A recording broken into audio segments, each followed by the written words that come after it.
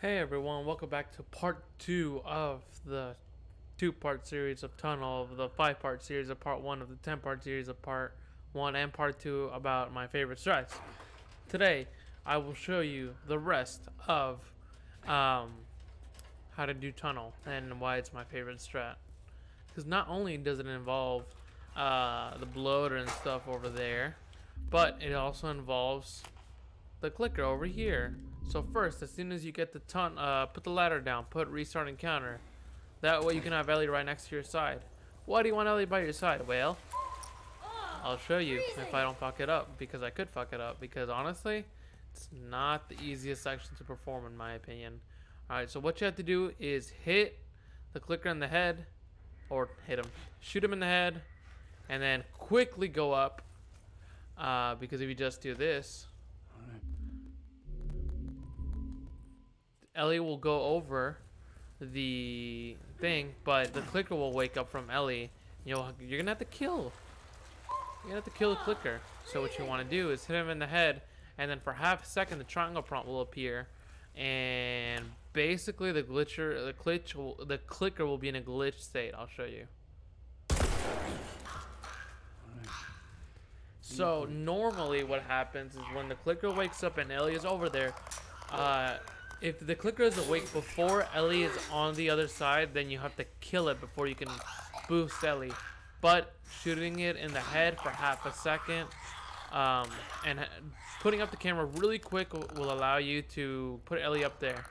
Um, now, while you're still out here, uh, while you're still out here, the clicker could still hear you and force you to kill the clicker.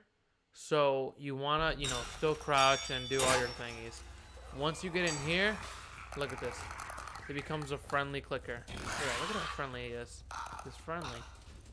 He won't do you any harm. It's all good. Hello there. You can also grab him. I'm not sure what that does. As you can see, he's a friendly clicker. Anyways, what this allows you to do is run through this area where normally you would only be able to jog through it. And so let's get into our swimming here. Um, obviously, like I said, uh, in hotel swimming or um, hotel basement, Joel swimming is his fastest animation. So swim. As soon as that happens, you see the like map glitch out, go down, swim up, and normally you would be fast jogging here, but now you're able to sprint. You're able to book it. See? Look at how fast that is. Look at how Joel fast is. Look at how fast Joel is, not Joel fast is. So, next, you know, you want to do your thing where put Ellie to the other side and blah, blah, blah. And after that, well, I'll show you. Is it clicker? You know. I hear the clicker close. Okay. Um, well, I'll show you. Be careful. I got you. The reason I'm doing this in easy mode is so that you can see where the clicker is with hearing mode. Right, so where is the clicker? The clicker is all the way over there. That's not good. Now, I'm not exactly sure how to do this. What I do is just try to get it to come over here. Because apparently the clicker is more responsive to arrows than bottles or bricks or bullets or anything like that. And so, you know, you want you want you want Gary, the friendly clicker, to come over here. Then you know you do the ladder thing, Damn, Um, ladder broke out the wall. And you want to try to keep Gary, the friendly clicker, in here. I'll You want to keep him in here because it allows you to sprint uh, again where you normally wouldn't be able to sprint. Now look, if he phases to the things, don't worry about it. That's the game is kind of glitched out right now. Nothing really makes sense. No, he's leaving. Gary, come back. Gary, no. All right, if that happens, I like to, you know, throw an arrow around the red sign. All right. You wanna, I, I, I usually try to do it quickly. That's why I always recommend having extra arrows here. No!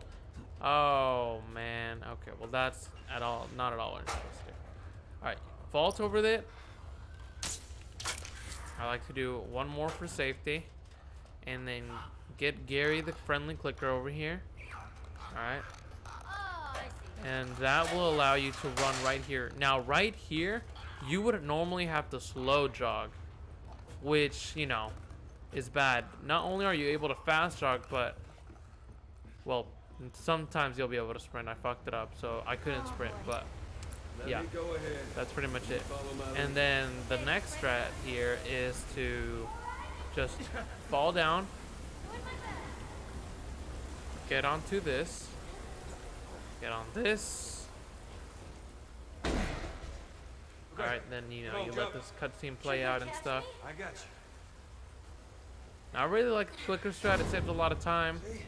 Now here, as soon as Joel can start start start walking, the, the second you can move Joel, restart encounter, that places Joel right here instead of over there. And normally Joel just walks very slowly, so you have to crouch. But here you're able to slow jog, which is faster than crouching, and you know, faster because you're placed onto uh, like further into the thing. You know, you know what I mean. And then here, the strat is very easy. All right. You know, once Joel just click triangle, right? And then don't just just leave it. All right. Just look. Controller. Move the camera up. Move the camera up. That will cause this cutscene to trigger faster. All right. Then do the triangle thing, obviously. Now strat here, just you know, hold the camera up, make Ellie come over here as fast as possible. Click triangle, let this mini cutscene play out, and then obviously, in order to move from the bus, you have to press forward and X. Um, a lot of people think that Joel's moving through here is an in-game cutscene. It's actually not. You do have to move Joel. And then the only speedrun strat here is, and I'll show you, it's just swim fast, alright? Swim, speed swim. Joel's fastest animation is to go up. So do that.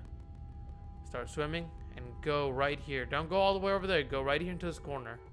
And then cutscene will trigger. And yeah, that's pretty much it for Tunnel. Um, like I said, my fourth favorite strat. If you really, if you enjoyed this video, make sure to stick around for a lot more part one and part two content. Very excited to bring some new stuff in the future. Got some ideas rolling around in my head. Um, but yeah, that's pretty much it. And uh, I'll see y'all for part five and the final part for part one.